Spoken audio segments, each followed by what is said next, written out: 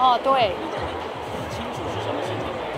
呃，好像是因为最近开始要办这个演唱会，自从澳门演唱会之后呢，就有陆陆续续很多的那个那个招商的人呐、那些他们以为我的我这我的公司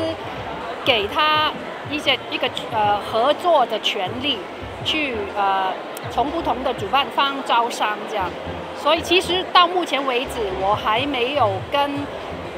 哪一方面做出一个确定要跟他们合作，呃，所以就是就是怕大家会投资错误，所以出了这个声明，就是告诉大家啊，我们还没有确定这样。嗯影响到演唱会的进行吗？啊，也不会，也不会，嗯。